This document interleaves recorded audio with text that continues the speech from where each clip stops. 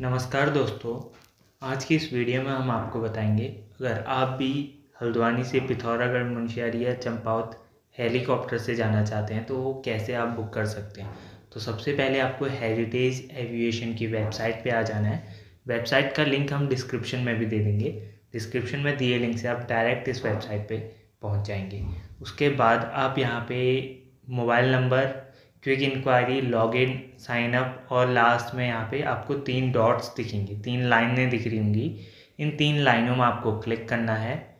उसके बाद आपको यहाँ पे अदर सर्विसेज़ दिख रहा होगा रीजनल कनेक्टिविटी उसमें आप क्लिक करेंगे, उसके बाद एक अलग टैब यहाँ पे ओपन होगा। उसके बाद यहाँ पे कहाँ से आप जाना चाहते हैं, वो लोकेशन आपको चूज़ कर लेनी है। जैसे हमको हल्द्वानी से जाना है तो यहाँ पे अलग अलग हैं। गौचर सहसदारा हल्द्वानी मुंशियारी लोकेशन आपको सेलेक्ट कर लेनी है, कहाँ से आप जा रहे हैं। और कहाँ जा रहे हैं, वो आपको यहाँ पे सेलेक्ट करना है।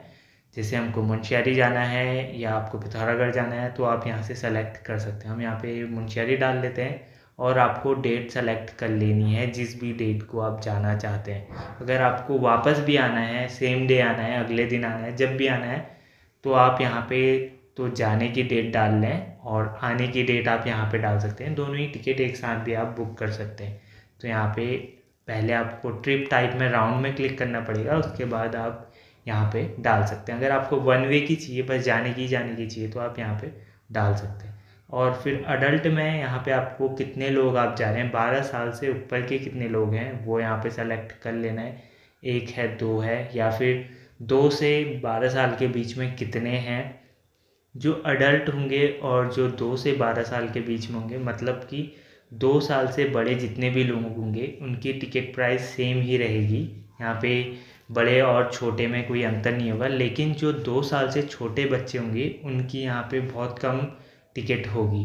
जैसे कि हम यहाँ पे आपको एग्जांपल के लिए दिखा देते हैं। एक अडल्ट हमने सेलेक्ट कर लिया है, एक दो से बारह के बीच में, और एक दो साल से छोटे का हमने यहाँ पे सेलेक्ट कर लिया है। उसके बाद आपको सर्च फ़्लाइट में क्लिक करनी है। उसके बाद आपको, आप सुबह के टाइम जाना चाहते हैं या शाम के टाइम सॉरी दिन के टाइम दो यहाँ पे टाइम है। डिपार्चर टाइम एक सुबह सात पैंतालीस में है और एक दिन के बारह, साढ़े बारह बजे है। तो जिस भी टाइम पे आप जाना चाहते हैं, वो टाइम आपको यहाँ पे सेलेक्ट कर लेना है। जैसे हमको सुबह जाना है तो सुबह में हम क्लिक करेंगे। तो यहाँ पे अमाउंट टू पे दिख रहा है हमको जैसे अडल्ट चाइल्ड का यहाँ पे जो भी दो साल से ऊपर है, उनकी सेम टिकट प्राइस आपको यहाँ पे दिख रही होगी। तीन हज़ार, साढ़े तीन हज़ार तीन हज़ार पाँच सौ। लेकिन जो दो साल से छोटे हैं, उनकी यहाँ पे टिकट है साढ़े सात सौ रुपये तो टोटल पाँच परसेंट जी के साथ आपकी यहाँ पे टोटल हो जाएगी आठ हज़ार एक सौ अड़तीस। Eight thousand one hundred thirty eight. उसके बाद आपको नेक्स्ट में क्लिक करना है।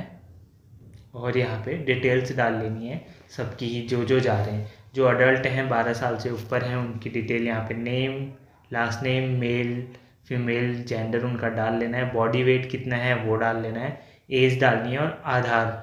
अगर आप, आपके पास आधार कार्ड नहीं है तो driving licence passport PAN card यहाँ पे आपको सेलेक्ट कर लेना है और आईडी प्रूफ जो भी PAN card number Aadhaar card number है, वो नंबर डालना है। सारी डिटेल्स यहाँ पे फिल करने के बाद कंटिन्यू में क्लिक कर लेना है।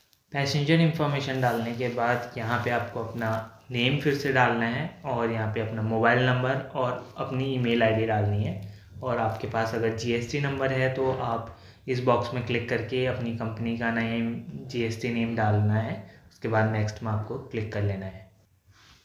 उसके बाद आप यहाँ पे देख रहे हैं, आपकी टिकट समरी आ चुकी है। यहाँ पे सारी डिटेल्स आ रही हैं। कितने बजे आप निकलेंगे, कितने बजे आप पहुँचेंगे मुंशियारी?